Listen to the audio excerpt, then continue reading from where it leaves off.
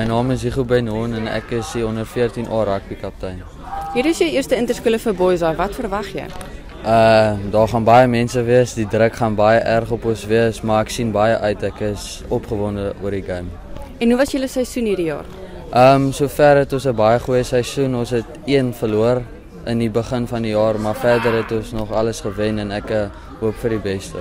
En hoe voel dit om vir boys daar te kan speel? Uh dit is vir my 'n baie groot voorreg om vir boys wat um 150 jaar al lank tradisies het en bestaan om vir so 'n skool te kan speel. En hoe's die gees in jou span? Baie goed, ons het 'n lekker klomp ouens bymekaar en ons gees is baie goed. En het jy 'n boodskap vir jou boys vir vir ehm um, interskole?